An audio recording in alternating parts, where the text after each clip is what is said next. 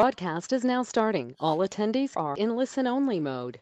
Okay. Good afternoon, everybody. My name is Matt Halley. I'm a member of the uh, engineering and marketing team here at Buckley Associates. Uh, before we start the webinar, I'm just going to say a few words. First of all, thank you for joining us today. Uh, we really appreciate you taking your time out of your day to uh, spend with us learning. Uh, we've been doing this for uh, some time now since March. So if you'd like to see some of our previous webinars, you can find them on our YouTube page at Buckley Associates. Um, a lot of a lot of effort goes into planning these webinars, um, and we're happy that you see value in uh, spending your time with us today. So today we're going to be talking about uh, multifamily unit ventilation systems. Uh, and actually the energy code related to those systems. So this might be familiar to some of you that have been following us since March. Uh, there's actually been some changes since then in the Massachusetts Energy Code.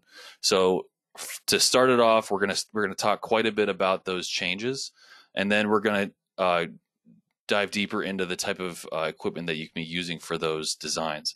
And then at the end of the t- at the end of the webinar, I'll be giving a, a really short presentation about fire rated air distributions, um, considering that it has quite a bit to do with these types of designs. So these are topics that the whole Buckley team is very familiar with. We actually have 10 engineers on board that are ready and willing to help you on any design applications you have. So after this presentation, feel free to reach out to myself or Sherry Malone, who sent you this invite, and we can point you in the right direction or help you ourselves. Um, if you're unaware of who your Buckley uh, point of contact is. So we have quite a few people signed up today. Um, if you have a question during the during the uh, presentation, just feel free to send it to the questions bar. I believe you should see that in front of you in the on the the dock there. Uh, and I'll either stop Scott to answer the question, answer it myself, or if there's a lot of questions, we may send it afterwards. Um, so we're going to get going. Uh, I'd like to introduce you to Scott McMurray. He's the North American Business Line Manager. And uh, go ahead, Scott. Thanks, Matt. I appreciate the introduction. Uh, good afternoon, everyone, and and welcome to the training session. Uh, today, we're going to be covering compartmentalized ventil- ventilation system design for multifamily, um, specifically focusing on some of the uh, unique things uh, that are involved with Massachusetts Energy Code. Uh, so, this presentation has been put together uh, with the assistance with uh, some local engineers in your market, um, which we greatly appreciated because, of course, as is always the case with code, uh, a lot of things are open to interpretation, and uh, sometimes it's difficult for for me as a manufacturer to try to be aware of everything that's going on within an individual market. So um, we put this presentation together. Uh, Matt and I did uh, in an effort to really try to answer as many questions as we possibly could on on these topics.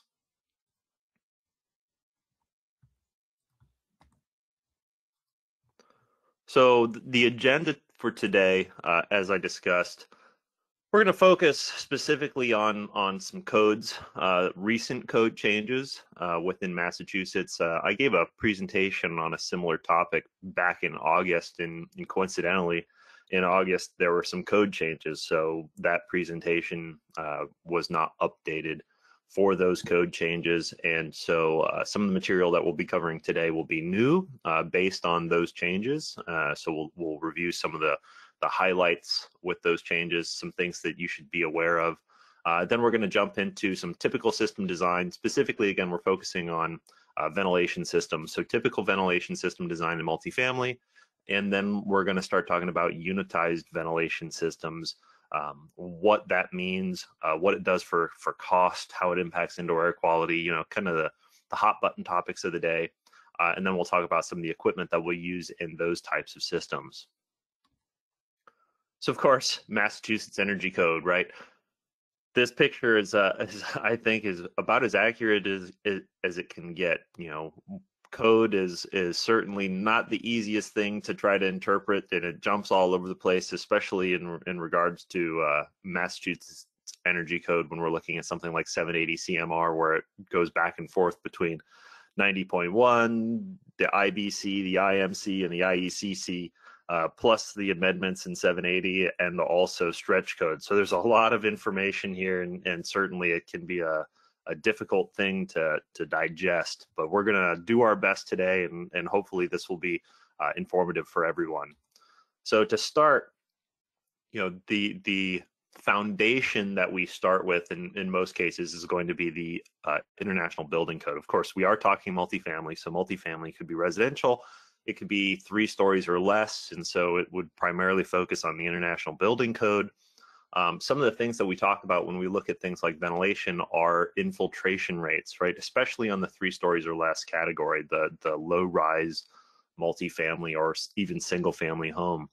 Um, when we look at the uh, codes and the variances between the International Building Code, the International Mechanical Code, uh, or the IECC, uh, one of the big differences that we see in the IBC is the allowance for an infiltration rate. So when we have the infiltration rate, um, basically it allows us to have a, a ventilation credit, right? So we don't have to mechanically ventilate as long as we can prove that we have natural ventilation through the infiltration rate. And, and what that would be would be a, uh, an air change of uh, five air changes per hour or more. And then you wouldn't have to mechanically ventilate, right? But the reality is when we look at, uh, at, at code and we figure out what kind of, of ventilation rates that would be, just to give an example, if we were to do a blower door test on a single family home, or even a, a, small apartment, let's say a thousand square foot with nine foot ceilings, we would have to measure 750 CFM of infiltration in order to satisfy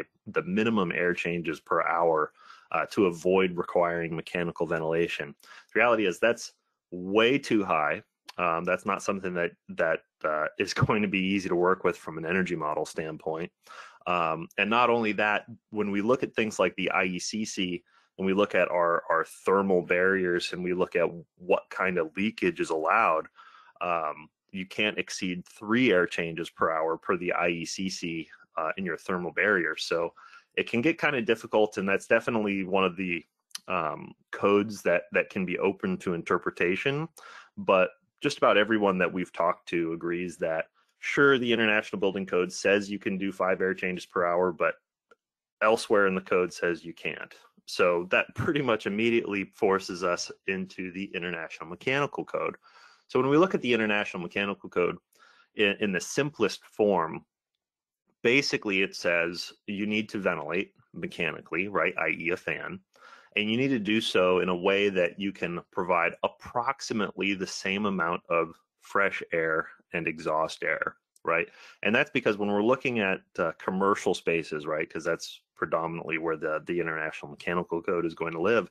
When we're looking at these commercial spaces or high rise buildings, um, it gets very, very important to deal with pressurization, right? Pressurization in multifamily is far more important than single family.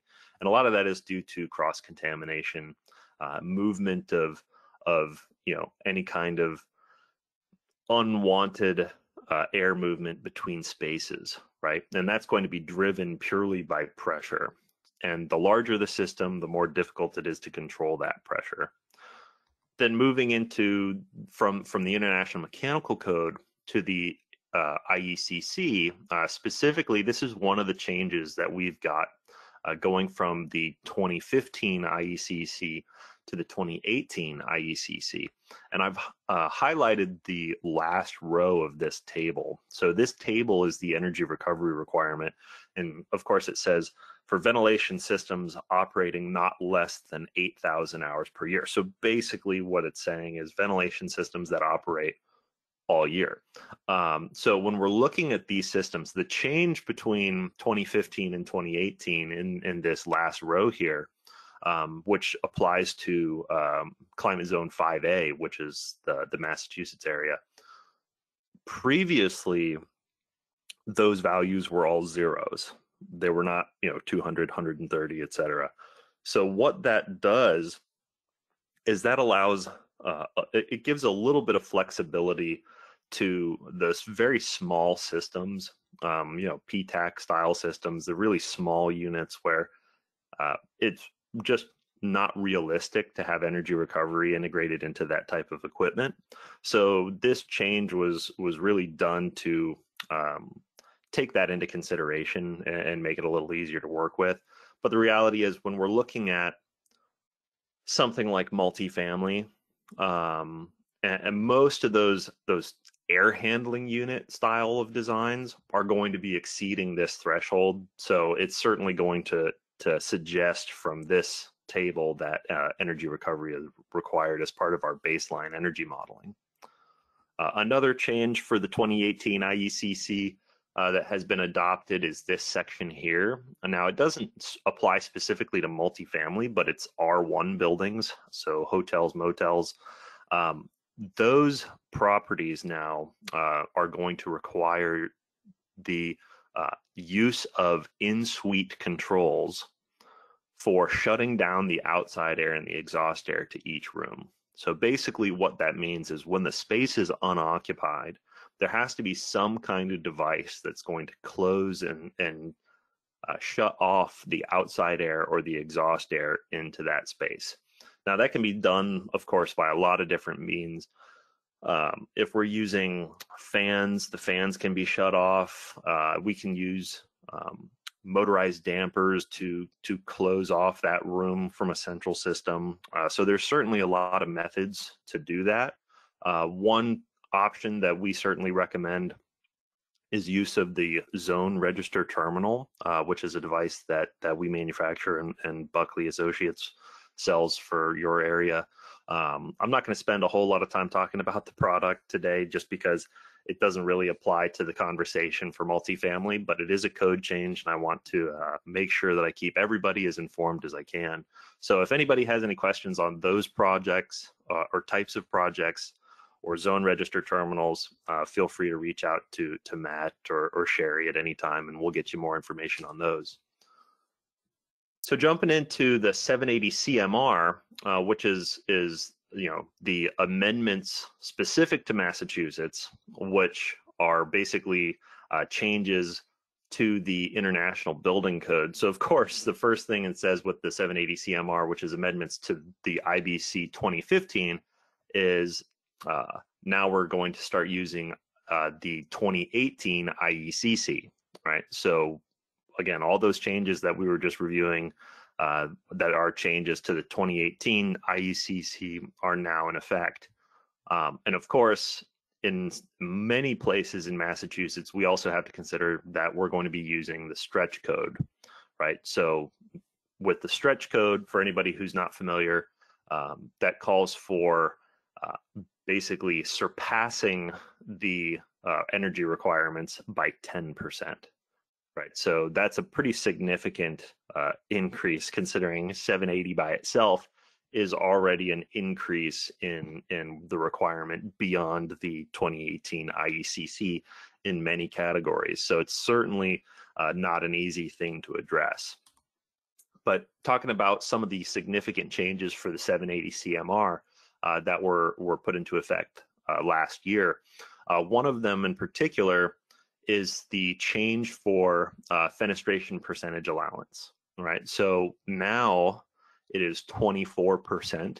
Uh, previously, or per the 2018 IECC, it's 30% as our baseline. Uh, now it's 24%.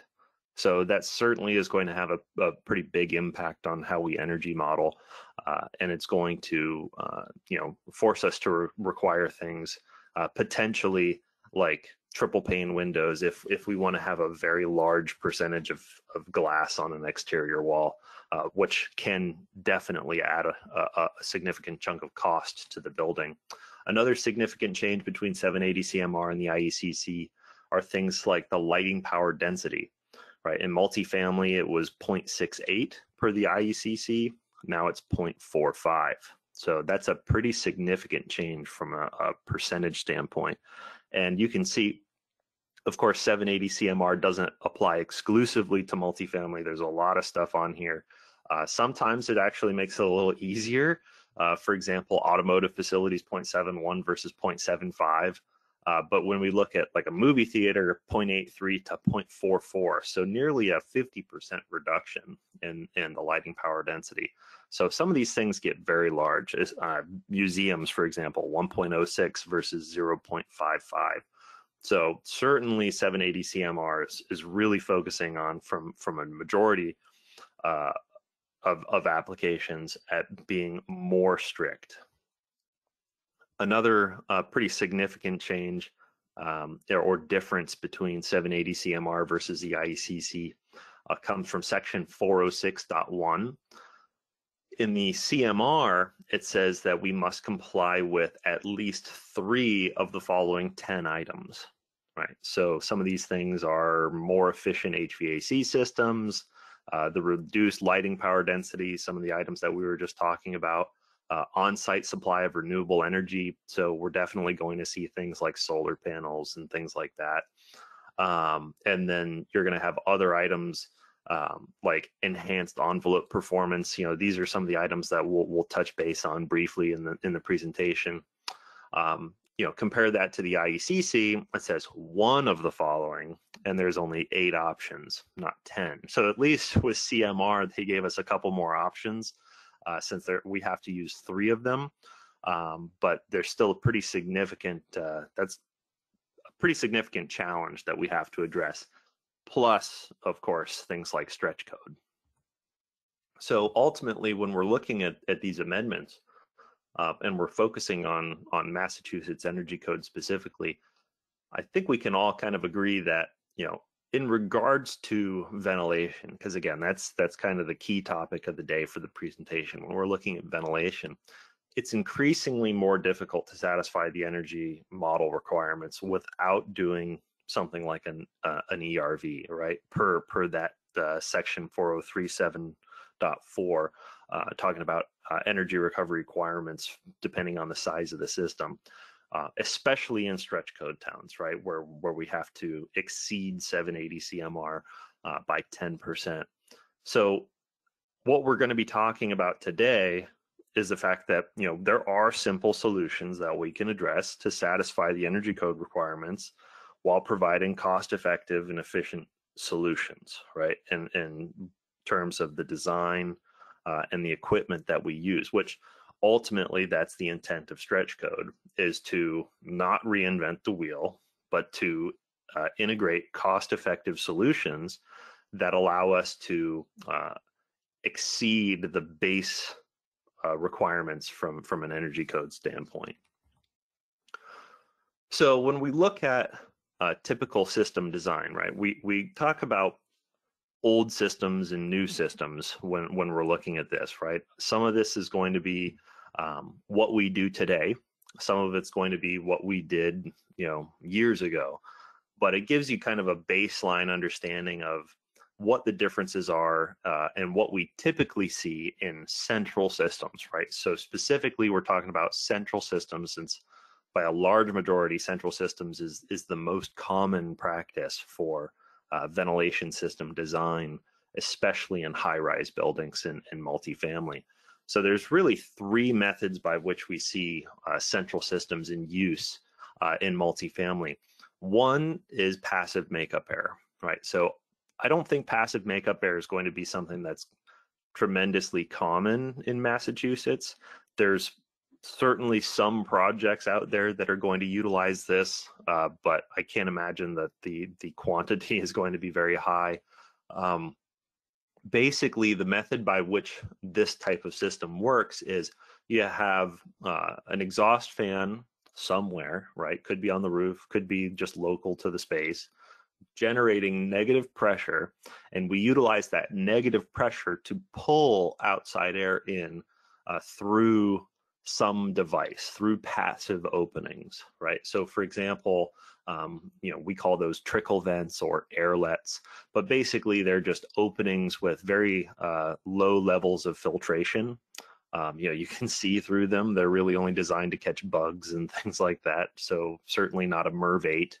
Um, but the idea is it provides a, a pathway for the air to come in from the exterior wall. But ultimately, when we're relying on negative pressure to move air, there's no way to say that I'm getting 100% of my makeup air from the exterior, right? I'm, I'm still putting the entire space under negative pressure. And anytime that I'm going to have negative pressure, I'm going to have some kind of air movement from, uh, you know, um, interstitial spaces within the building uh, which are ultimately going to, re- to, to result in um, contaminant movement from one room to the next or one floor to the next, especially when we're in tall buildings and we have things like stack effect and, and the pressure is considerably more difficult to try to control. It's one thing if every room is under the exact same negative pressure, then I can kind of reliably uh, say that the outside air is going to be some value but we're not going to see that in, in tall buildings. You're going to have variable pressure from the first floor to the top floor. So it, it simply doesn't work. Another method, and this is definitely more common, uh, but it's not something that you're going to see in new construction, is pressurized corridors. So basically what we're doing is we're utilizing the corridors as plenum space rather than running duct over to the uh, to the individual suites, right? So this was very popular because it had low cost. Again, I'm not worrying too much about uh, a whole lot of duct. I don't have to worry about, um, you know, penetrating my fire rated barriers within the units. Um, so it was a very popular uh, type of design, and and really it was uh, a way to do something very similar to the passive design, uh, but it allowed us to rely um, on makeup air units units to provide room neutral rather than drawing in raw, untreated, and unfiltered outside air. However, it's virtually impossible to know exactly how much fresh air you're getting from the corridor. Um, part of that is, you know, sure, I can measure how much air is coming underneath the door, but how fresh is it really, right? How much of that is actually outside air? And that's one of the reasons that we don't do this anymore. It's not code compliant you know it's very difficult to control and again at the end of the day you really don't know how much uh, outside air is entering each individual apartment that brings us to today's primary solution when we're looking at high rise buildings um, that's a central ducted ventilation system so instead of utilizing the corridors as um, my air distribution method or pathway i'm ducting directly into each apartment so i'm going to end up with a much greater level of control in this type of system. Sorry, I've got something that popped up on my screen. Get rid of it. There we go. Um, so we're going to end up uh, with a much higher level of control on this system. Um, but the the downside is uh, the system complexity uh, due to the size of the system, right?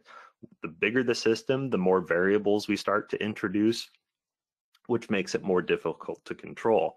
Um, from a balancing standpoint, it's a complete nightmare, right? You're going to have many, many, many terminals that you have to balance off of a single fan. And as you try to balance these terminals, you know, you change the set point of one terminal and it's going to have some kind of impact on every other terminal device within that system. So it, it creates a situation where they're very difficult to balance and control. And then you also have to factor in things like stack effect right stack effect is is going to be a big driving factor to uh, changing pressures within the system which make these systems uh, virtually impossible to control accurately as they get larger. So when we look at uh, these big central systems you know there's some some pretty distinct challenges that we have to look at and we have to be aware of. Uh, reaching code required ventilation rates as we've been talking about you know due to things like balancing is obviously one of the biggest challenges that we have to address uh, by code we have to provide a certain amount of airflow and when we have things like stack effect or operable windows and doors um, you know you're you're going to have a, a, very difficult time getting exactly the code required ventilation rates. You know, sometimes you're going to exceed them, sometimes you won't meet them, uh, depending on what's going on within the system at any given time. And that's one of the reasons that we we tend to have a bigger challenge with indoor air quality uh, when we when we're looking at the larger systems. Uh, air tightness between units is obviously a big challenge when we're looking at multifamily no matter what, when we're looking at uh, multifamily and central systems, you can't say that we have absolute uh, barriers between the, the units that you're not going to have cross contamination, especially due to uh, systems that are, are being impacted by things like stack effect or wind load or things like that on, on a system. Pressurization and, and um, dealing with any kind of contaminant movement from the exterior to the interior uh, due to things like parking garages or pools. Uh, so contaminant infiltration is is certainly something that we have to worry about. Duct leakage. The bigger the system, the the greater the potential for duct leakage and of course dealing with uh, any kind of maintenance and tampering. You know these systems especially on the exhaust side the duct does get dirty. Um, you're going to have some kind of tampering over time. Unfortunately everyone knows what balancing dampers do. Everyone knows how they work. Uh, and therefore you're you're going to have people uh, that are are going to uh, manipulate them and change them because they think that they they want less noise or less airflow uh, for any given reason. And so over time, uh, there's no way to guarantee that a building that was once balanced is is forever balanced. Now, when we look at um, these central systems, um, you know, there are solutions to address the the challenges in central systems, and and I just want to touch base on this very quickly, even though it's not the intent of the presentation today but I wanted everyone here to be aware of uh, of a new product that we launched. Um, a lot of people are familiar with Aldes as a brand due to the constant airflow regulator product.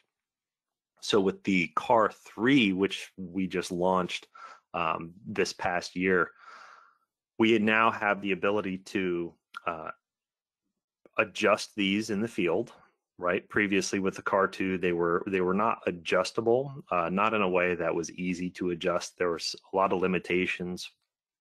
Now they also have a dual side adjustability. So i have the option to install it in a supply or an exhaust configuration and i will always have access to the dial that you use to adjust it which is the little green knob on the airflow regulator so as i turn that dial on the airflow regulator the indicator that's on the side there will move and it'll show you what your CFM is. So that allows me to have the ability to make adjustments or visually confirm uh, what the set point is for the airflow regulator, regardless of its position within the system. So that's a, a pretty significant change for us. It's unique to the market. So it's not to say that central systems, excuse me, it's not to say that central systems uh, don't have solutions to help them perform better.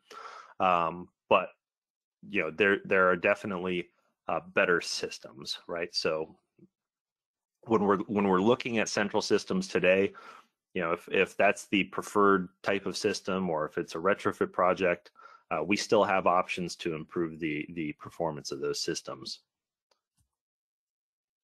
So, what's the alternate to a central system? right this is where we start to talk about what can we do to get away from the the old and the more common methods of design in for ventilation systems in multifamily specifically so when we're talking about these types of systems we like to talk about increasing efficiency by decreasing complexity that's the easiest way to try to explain it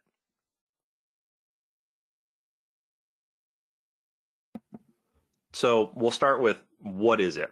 What is a compartmentalized system or distributed mechanical system? It's one of those things that goes by many names. So what is it? Well, the idea visually representing this, um, the easiest way to show this is you have uh, one system, you know, your system on the left-hand side here, which is one structure that has a lot of rooms. On the right, we have, you know, a skeleton that holds a lot of structures, right? You have many spaces stacked on top of each other, but not interconnected, right? And so how do we achieve that, right? Well, we we shrink the size of the system to the point where now you have one system per suite, not one system handling uh, many suites, right? So by shrinking the size of the system, we can do things like mitigating stack effect, increasing control, increasing balance. Uh, there's there's a lot of benefits to this, um, and and one of the methods by which we can look at uh, of controlling stack effect, right? So stack effect is the result of two things, right? When we look at the the the formula for what stack effect is, what the impact of stack effect is on a system, the variables that we input into that equation are the outside air temperature, my indoor air temperature, and the height of the system. So the colder it is outside, the greater that delta is between indoor air and outdoor air. And then the taller the system, that is going to have a bigger impact on what the stack effect is, right? So that's why stack effect is generally uh, having an, a more significant impact in the winter because the delta is greater, but you still have stack effect in the summer as well. Anytime that you have any kind of difference in outdoor air temperature and indoor air temperature, you're going to have a difference in air density. Then you're going to be multiplying that by the height of the system. So when I look at a distributed mechanical system, I can basically take the height of the system and bring it to zero, right? Because I don't have vertical shafts anymore. Everything is localized. So I'm not going in, in, through multiple levels of the building anymore. I just have the individual unit. So that's in general how we can eliminate things like stack effect and, and stack effect being taken out of the equation immediately makes systems much easier to control. So what are some of the other positives? You know, of course, we touch base on the fact that we're eliminating the vertical shafts, but what are the other benefits of eliminating vertical shafts besides stack effect? Right. Well, one of the things is I can now put a space that would otherwise be dedicated to those vertical shafts back into the apartments. It's now usable space. It's rentable space. So that's going to be a big benefit for the developers or the building owner, whoever's renting that space or or trying to uh, to make a profit off of that space. And of course, what are we connecting to those shafts? the roof mounted equipment can be drastically shrunk, if not eliminated entirely, right? So when we take these these vertical shafts, which would were previously dedicated to uh, handling the exhaust air and the outside air to the individual units, now I only need shafts for common areas, right? So I'm not necessarily saying that we can completely eliminate the uh, equipment that would otherwise be on the roof. Uh, but we can often shrink it to the point where we can either take it off the roof, we can hide it more easily, maybe we can put it in the basement, we can put it in a mechanical room. Uh, we have a lot of options now. But by being able to take things off of the roof, now I can utilize the roof more effectively. So one of the options that we were talking about earlier in 780 CMR talked about renewable energy and where are we going to put solar panels, right? Probably on the roof. So having a roof that's unobstructed and, and easier to work with makes it easier to have solar panels, makes it easier to have a green space on the roof, uh, a way to have some kind of activity center on the roof.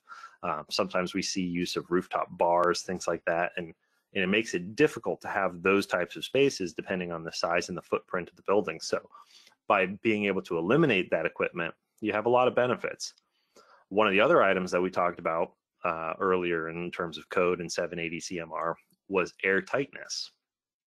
Well, when we look at compartmentalized systems, we can have better air tightness on the space because now we're we're removing penetrations into the air bar- the air barrier of the individual units right so i no longer have uh, uh, risers that are passing through the floor then you know penetrating through my air barrier through my fire rated barrier um, you know so i'm going to have significant improvements in my air tightness within the space so that's going to be a something that we can look at in terms of the items that we want to check off the list for satisfying 780 CMR.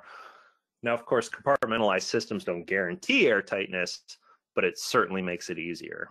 Uh, another thing that that is definitely worth pointing out is the system efficiency, the overall system efficiency. Right, when you look at a, a DOAS unit or a rooftop unit, I have to have a fan with sufficient fan power to overcome a great deal of duct loss.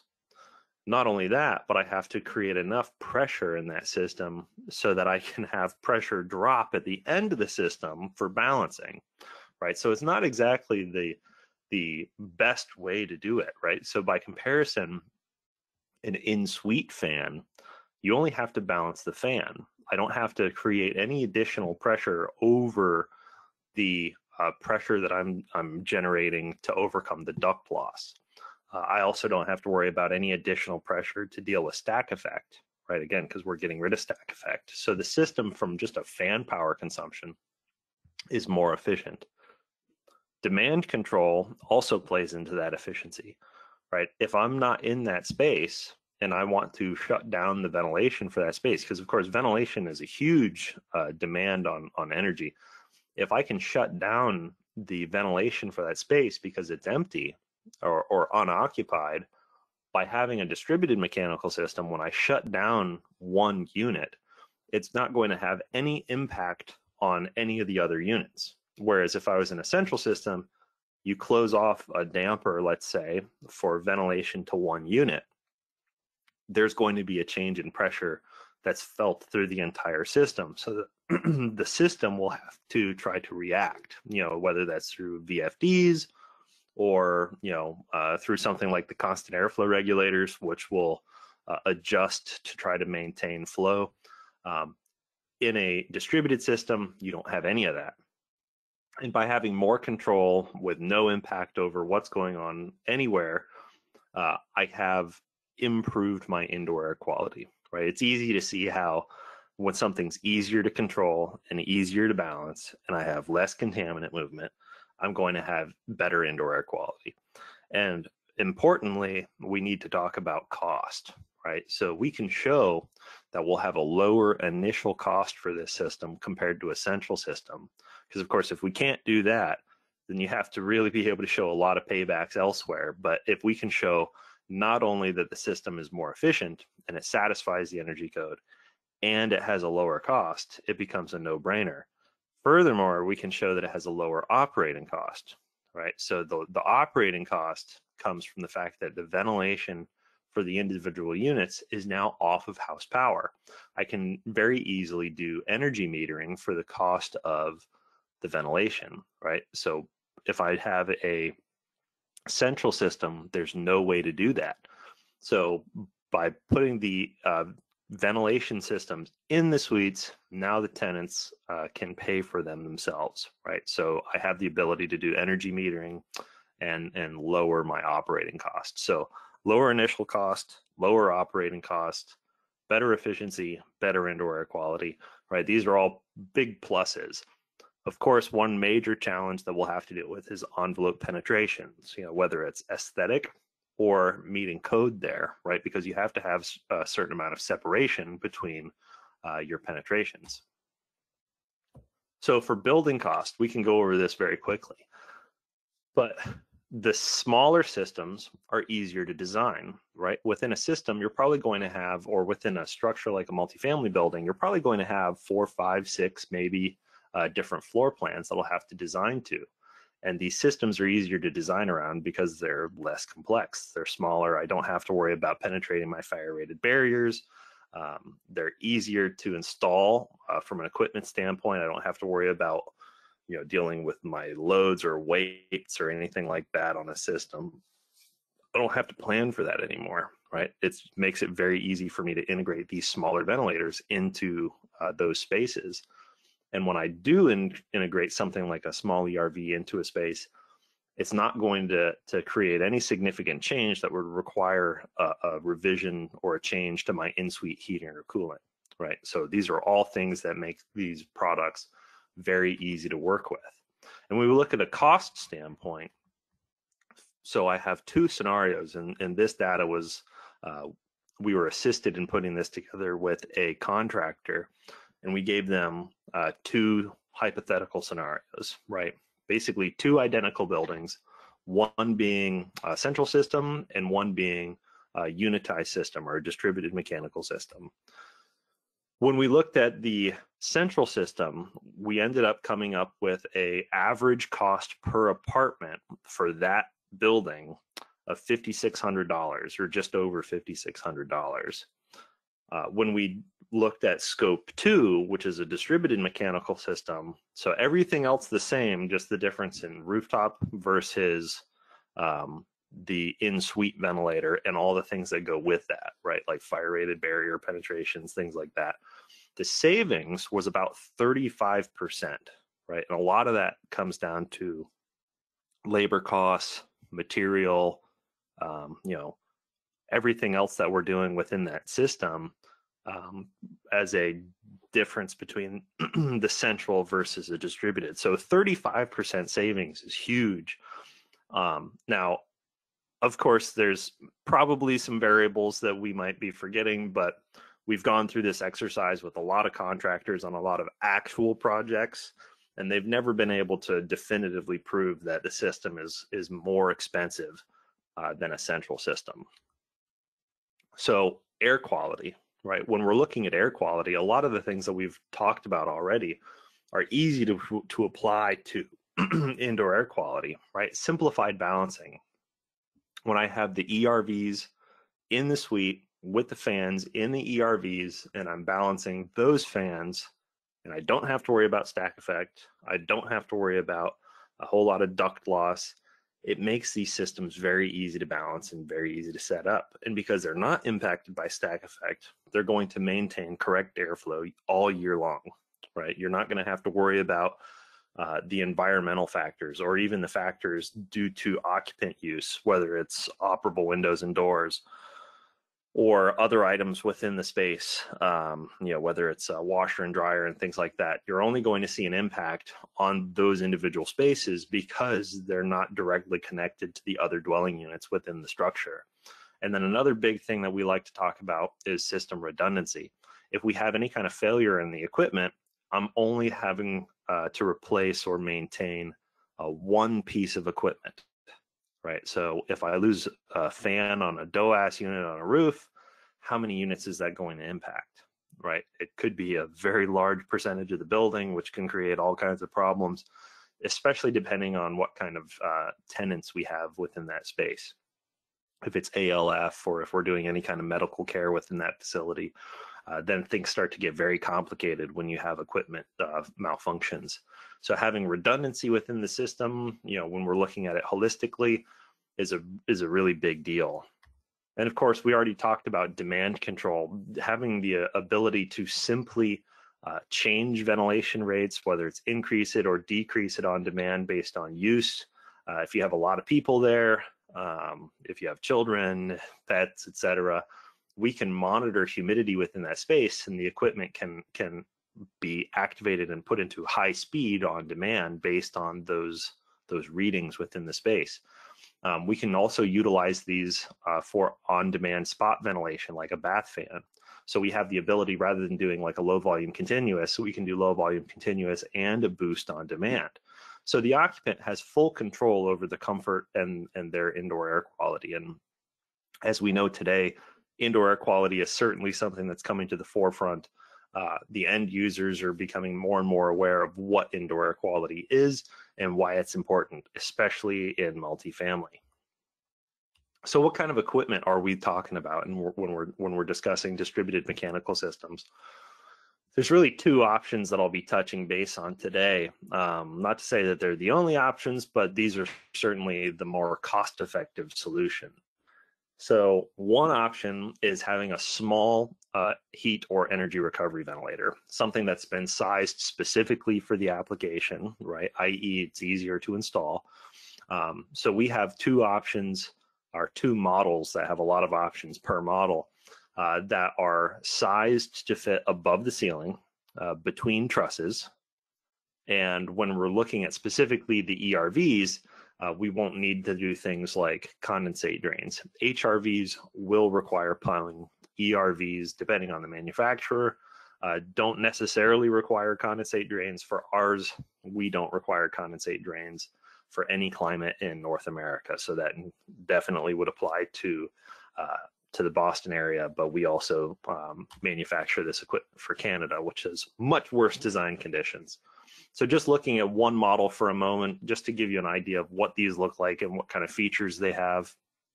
So an E80 HRX is one of the models that is designed for installation in the suite above a ceiling. So it's a horizontal installation. You have on one side of the unit connections that are going to go to the exterior wall, and on the other side of the unit connections that are going to go to the interior. Um, whether it's plumbed directly into the space or it can go to the return on a air handling unit or a fan coil unit or you know what our option whatever uh, heating and cooling system might be in that space. Uh, the leaving air temperature off of the erv is going to be more than high enough for any of those air handling units or or heating or cooling devices to handle that load. Uh, these are optional with ec motors and we even offer things like free cooling economizers. Now of course by code they're not required but yeah when you look at the building as a whole i'm still ventilating at a very high volume so we like to include the economizer as an option on on these units as well. But taking it one step further we can get a little more advanced right? So the individual ervs are great. Certainly they can satisfy my code requirements but now you have to have an access panel, right? And nobody likes access panels. So what can we do to kind of improve on this system, make maybe it a little easier to work with, a little easier to install? Basically what we've done is we've taken a fan coil unit and built an ERV right into it, right? So we call that the IQ series of vertical fan coil units. So from a fan coil unit standpoint, it's pretty straightforward, right? Three quarter to three ton of cooling capacity. We can do a two pipe or a four pipe, just like any vertical stack fan coil. But uh, as one of the things that we're doing to address the changes in code that require things like, you know, 100% electric, getting away from gas, um, now we should be looking at options like refrigerant coils, right, for the cooling. Uh, we can do hot water off of the local hot water source within the space, um, or we can do a uh, heat pump option where we can provide um, a, a heat pump to do the cooling and the heating. Now, with our systems, they're all designed for remote mounted condensing unit or remote mounted uh, heat pump. So we do that, you know, for a handful of reasons, but one of the most important is uh, acoustic performance, right? Heat pumps uh, tend to be rather noisy. Um, so by being able to take the heat pump and remote mount it, I can take that noise out of the space and end up with a system that is as loud as any normal fan coil unit. Now the ERV within that unit is going to be uh, rated for up to 120 CFM at 4 tenths of an inch water column, also uses EC motors and is rated for up to 75% recovery efficiency. So it more than satisfies the 50% minimum uh, that's required for code.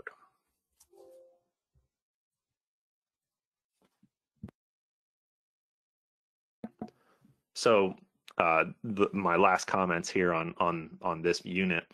Um, basically, you have a fully integrated heating, cooling, and ventilation system as a single device. It's one piece of equipment to install. It's a single point power, right? There's no compressor that's in the unit, so it's all 120 volt. Um, all of these units are the exact same size, right? So depending on if it's a three quarter ton or a three ton unit, they're all exactly the same size. Uh, no additional access panels uh, in terms of the energy recovery unit by itself. So what you see is what you get. Full occupant control over the indoor air quality, right? And that would apply to the standalone ERVs or the ERV built into the fan coil unit. And again, really one of the big emphases that we have for this is how can we do more than the minimum without going over budget? Which again, that's really the intent of stretch code. So I actually, I copied this from mass.gov. So stretch code emphasizes energy performance as opposed to prescriptive requirements and is designed to result in cost-effective construction that's more energy efficient than the built to base energy code, right? So that's really what we're looking at here, right? The ability to um, provide a solution and a system that's going to be cost effective and do more than the minimum, right? And so we're doing more than the minimum, not just in terms of energy efficiency, we're doing more than the minimum in terms of addressing indoor air quality, in terms of addressing ease of use, ease of installation. Um, so certainly we believe that this is uh, the, the method of kind of the future. Uh, we see uh, distributed mechanical systems as being the best way to address ventilation in larger buildings. Uh, it's certainly easier to control, and anytime that you can make something easier to control, it makes it easier to make it cost effective. And easier to make it more energy efficient. So that's really what the focus is for these.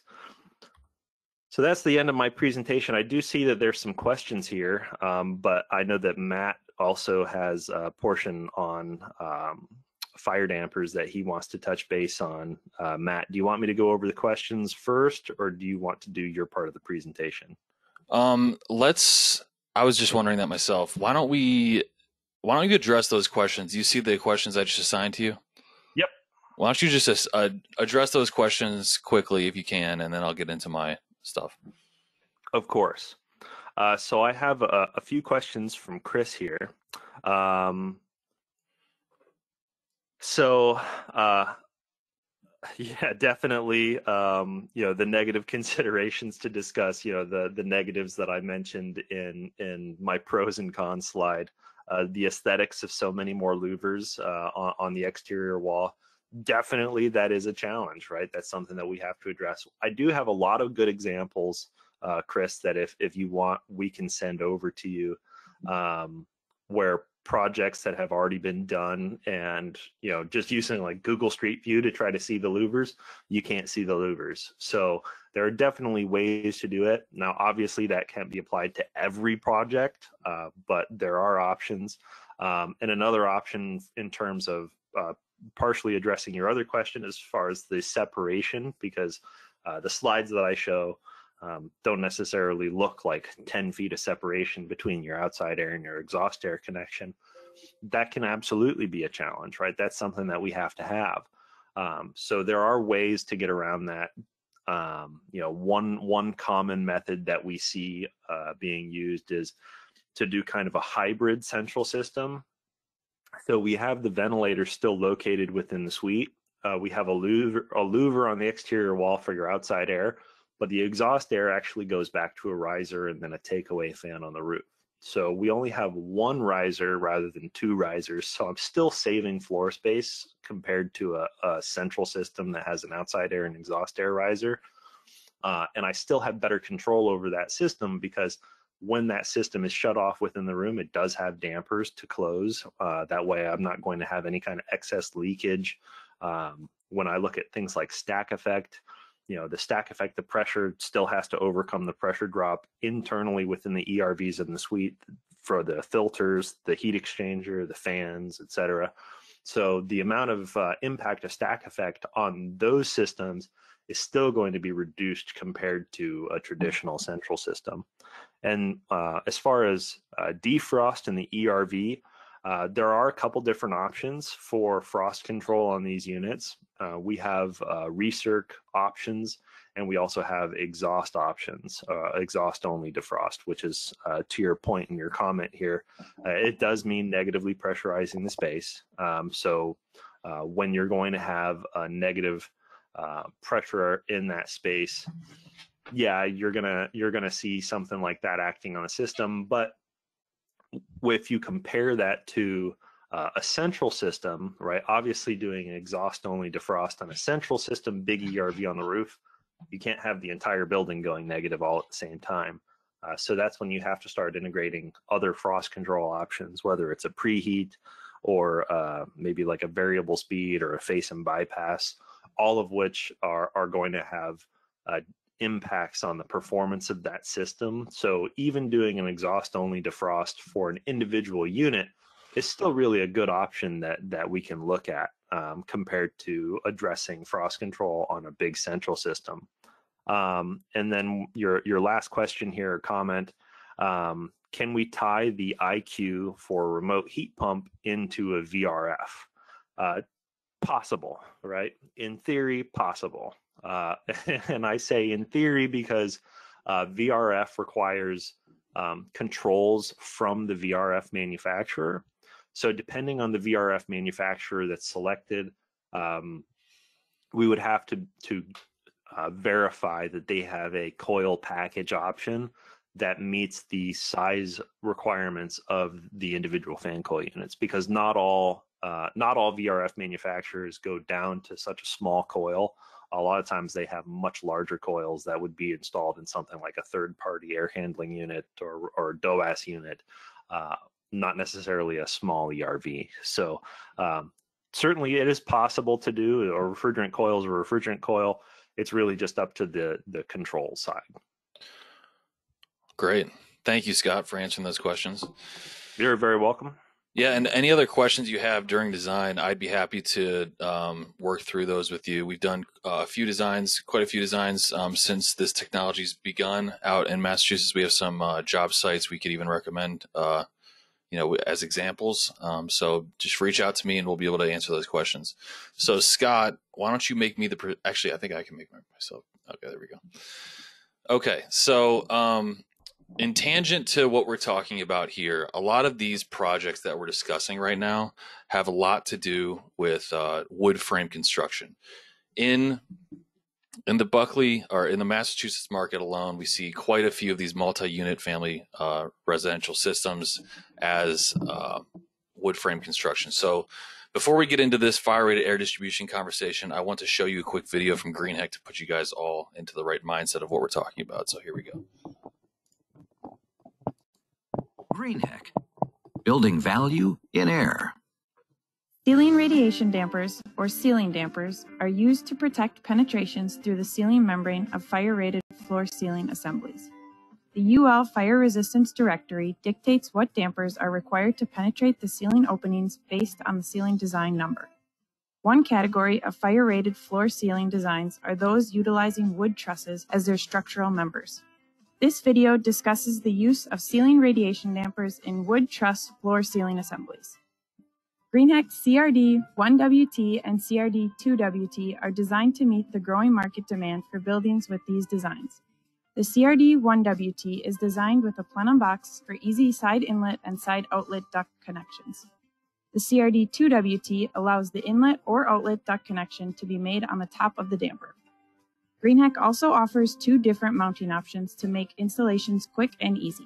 The first is the hanger method, which allows the damper to be supported from above using steel straps, wires, or angles.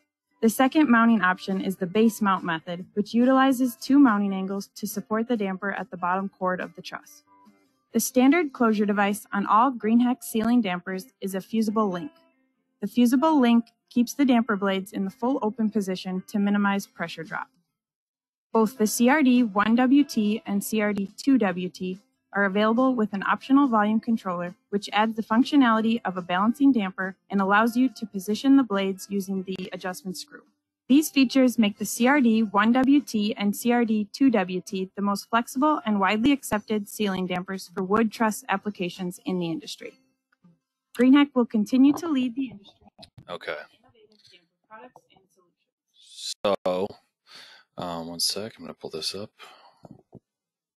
So, as you guys can see, we're talking talking about wood frame construction in multi-unit, multi-family unit construct uh, buildings. So, uh, let's talk specifically about fire-rated air distribution because, to be honest, this is something that we see an issue with all the time. And I'm not talking about 99% of jobs. I'm talking about 100% of jobs in our market. This is something that our estimating department has, uh, you know, actually really brought to our attention that this is an issue, um, and I don't want anybody to feel targeted because it seems like mo- this is quite an issue for most uh, people designing wood frame construction. So the uh, the, uh, the approach, the detail that we typically see in these designs is what we call the commercial component approach, and that would be completely co- uh, code compliant with the thermal blanket for non-wood frame fire rated Florida to ceiling assemblies. So these are these are great for non-wood frame construction, right? And what's different here, uh, in, as opposed to what you just saw, is the ceiling open, ceiling opening versus the next size. So as you can see here, this ceiling open opening is quite a bit larger than the next size, and any heat source that would be be um, exposed, that would expose uh, to the to the floor to ceiling assembly, is actually protected by that thermal blanket. So a lot of the times we'll see this thermal blanket specified on a commercial diffuser like this. This could be, say, a Price SMD or a competitor uh, of equal construction. Um, but what we really need to provide for wood frames uh, construction is a boot similar to this. Now, this is actually a picture from the Greenheck uh, 1WT, actually 2WT IOM. Actually, that's a one WT. Uh, and this is the the point here. This is actually you know a lot of different uh, manufacturers have a, a box like this. Uh, the point here is to show you that this is really the only code compliant device that should be used in a construction like this. This is for wood frame fire rated uh, ceilings. So this next size, as you can see, is the same size as the ceiling open opening, and that's very important because, as I discussed, the there's no heat sources being um, exposed to that floor to ceiling assembly. So within that box, that UL rated box, uh, we would put a, a diffuser similar to this. So this is a price light commercial diffuser, LCMD, and actually has an opposed blade damper on the back for volume control. And this, you know, this actually looks much better for applications where, um, in, a, in, a, residential application, because it's not a, a big ceiling opening. Um, it's not a, you know, a big diffuser, and it looks a, a lot better architecturally, you know, in our opinion. Now, this can actually be mounted inside of uh, then a uh, a, a, ceiling radiation damper boot, and this is actually the only way to ensure compliance with UL in a wood frame construction. So uh, this boot, along with a diffuser like this, could um, be used to uh, in a in your detail, and it, we could actually provide you a detail like this. So this is the Buckley prefabricated ceiling radiation damper box assembly. So um, everything is called out here. If your price LCMD, the opposed blade damper, your ceiling radiation damper in the prefabricated boot. It could be insulated or non insulated. You could insulate it in the field. Um, but this will really keep you out of hot water with any AHJs during inspection. And there's actually been some issues uh, in the past where uh, the, the, the typical component approach um, is you know it causes issues. So not only is it not UL rated, does not provide a UL rating uh, assembly that is UL rated, but it's actually more expensive and takes longer to install as well. So uh, to break it all out for you to see it, you know, see the numbers, um, a ceiling, a, a, a, price SMD with an OBD uh, could cost about twenty six dollars. Um, with add the fire rating blanket, add the ceiling radiation damper, and then add the field fabricated plenum box, and you're up to about $103 with insulation. And all that takes about three hours to install. Now, on the other hand, you could use a prefabricated UL classified boot assembly and spend about half that on the budget price and about half that time as well. So these are very important details to have locked in tight on your drawings. And uh, this is something that I'd also like to send you in the follow up email. So um, that's that. I just wanted to make sure everybody's familiar with uh, how to specify these fire rated air distribution assemblies. And uh, that's that's it for my just quick little presentation. Um, we appreciate your time today. If there's any questions, uh, feel free to ask now, or also feel free to ask me afterwards in my follow up email. So, with that said, um, I don't see any more questions. So, Scott, thank you. Uh, thank you, everybody else that uh, put together this uh, presentation today. Um, feel free to reach out to us after this presentation, and uh, I hope everybody has a great day. Thanks, Matt, and thank you, everybody. All right.